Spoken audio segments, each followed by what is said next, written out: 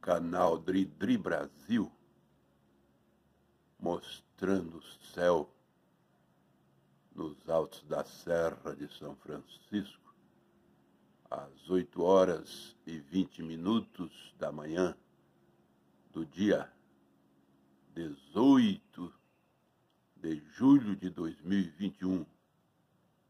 Nublado, nublado não, não dá para ver nuvem, serração, antes da serra. Isso é a serração em cima da Serra de São Francisco.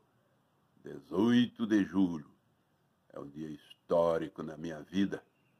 Foi o dia em que eu saí de Itamira, no norte do Espírito Santo, para vir para São Paulo. 18 de julho de 1959 há 62 anos, 62 anos, iniciei a minha viagem para São Paulo. Glória a Deus. Aleluia.